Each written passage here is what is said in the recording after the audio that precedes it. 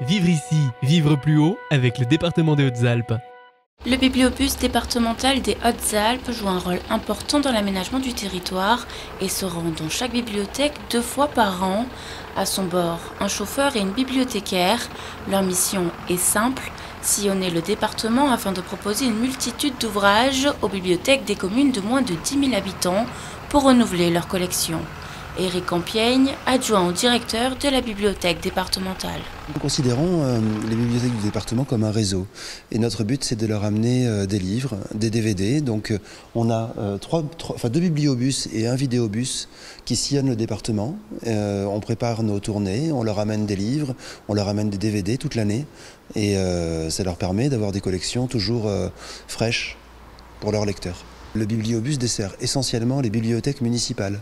Voilà, c'est-à-dire qu'on est en contact avec les communes du département qui ont décidé euh, de mettre, euh, d'ouvrir pour leurs lecteurs, enfin pour leur public, une, bibliothèque municipale. Ce ne, sont pas des, ce ne sont pas des bus qui sont ouverts au, public.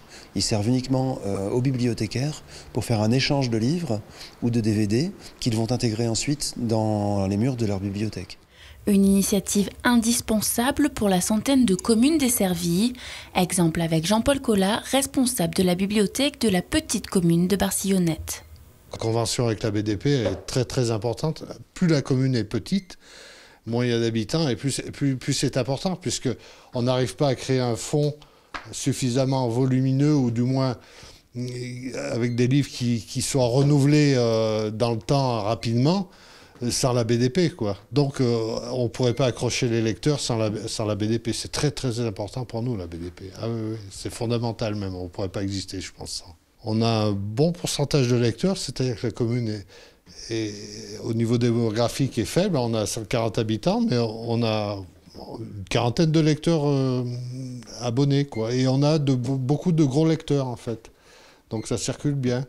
On par exemple, avec la, bibliothèque départementale aussi, on, utilise souvent ce qu'on appelle la, commande de, documents en ligne par Internet à la demande de, de nos lecteurs. Il y a des livres qui ne sont pas disponibles dans notre bibliothèque on va les commander en ligne à la bibliothèque départementale. Une petite bibliothèque ambulante, mais ne vous laissez pas avoir par sa taille car elle transporte 3000 documents récents. Les bibliothèques communales échangent leurs ouvrages contre ce nouveau du bibliobus, comme l'explique Florence Rambaud, bibliothécaire. Les communes plus importantes où on reste pour la journée, euh, on peut aller jusqu'à 700-800 documents, mais de plus en plus souvent, là aussi, on leur demande de ne pas dépasser 600. Euh, parce qu'on n'arrive pas à faire de vrais choix. Sinon, euh, voilà, le, le, fonds disponible dans un bibliobus, euh, il reste quand même très restreint. C'est entre 3000 3500 documents, pas plus. Mais avant de pouvoir repartir à la recherche de nouveaux ouvrages et dénicher la perle rare, les membres de la bibliothèque doivent commencer par compter et classer tous les romans à échanger.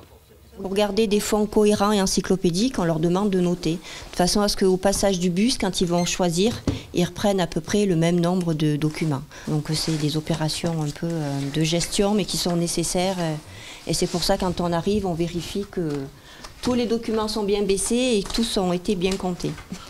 Une fois l'opération de gestion terminée, il est temps pour tous les bénévoles des bibliothèques communales de se plonger dans les rayons des nouveaux livres à sélectionner. Donc en fait, ils viennent juste, une fois qu'ils auront euh, choisi le document, euh, ils le mettent en fait sur la tranche. Euh, on fait ça pour tous les documents et ensuite on va les prendre en les gardant dans l'ordre.